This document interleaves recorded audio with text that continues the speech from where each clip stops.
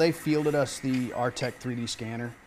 They're essentially evaluating its viability. Is, is it something that uh, is viable for us to use that will help us improve our overall readiness? There are many things that we have to draw from scratch. So it's also something that has enhanced the soldiers' skill set and they begin to learn to draft. Because the 3D printer works on a simple XYZ axis, it's taught them how to essentially machine. This is additive manufacturing, whereas running a milling machine is subtractive manufacturing. But the XYZ concept is still the same. So when they 3D model and draw, and we can use that same software on the mill uh, that we can on the 3D printer, it's definitely taught them an appreciation for being able to, to draft and reproduce a part using several different methods. We have run into occasions where we can reproduce parts that don't have NSNs. Uh, an example is uh, there's uh, the purge kit that C&E uses to purge NVGs. There's a tiny little plastic cap that's threaded that just often gets lost. There's no stop uh, on it to keep soldiers from removing it even by accident.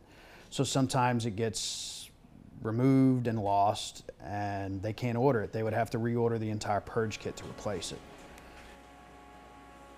I take pride and um, obviously some a little bit of fear in you know every part I make because anything that I make could end up on something that's mission critical.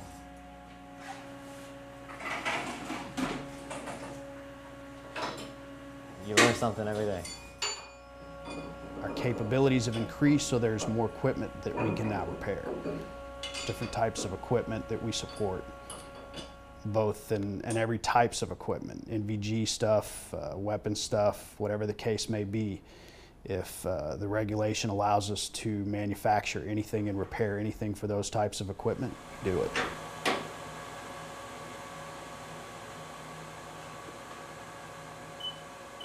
So, so, so many units in the Army where these soldiers go work and they never get to do their job. They don't have any equipment, they definitely have the demand, but what the units do is they find a workaround. They find an alternative, or they just order those parts, order the next highest assembly, or they order it commercial off the shelf.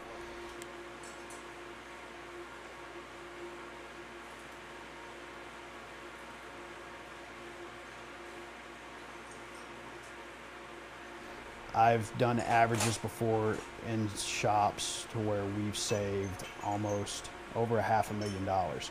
And if you take that and you multiply that with every allied trade shop in the Army, you're looking at saving millions, millions and millions of dollars annually. When you multiply that, you're looking at billions over a decade, which has a massive impact on the amount of savings that we do for our U.S. government.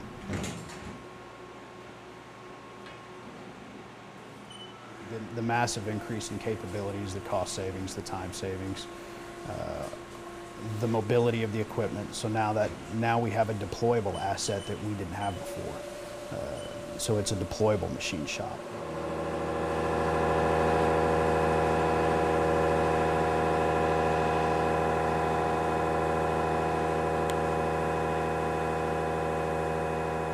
We can have a massive impact Army-wide on overall readiness. with the equipment and the training and having this asset at your disposal, the improvement in combat readiness would be astronomical.